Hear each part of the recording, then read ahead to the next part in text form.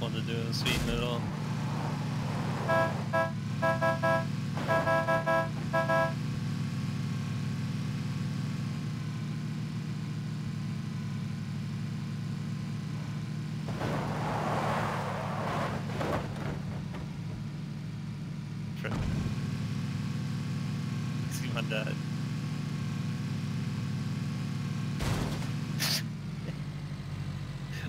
Wait, John, you ran over somebody. You ran over somebody.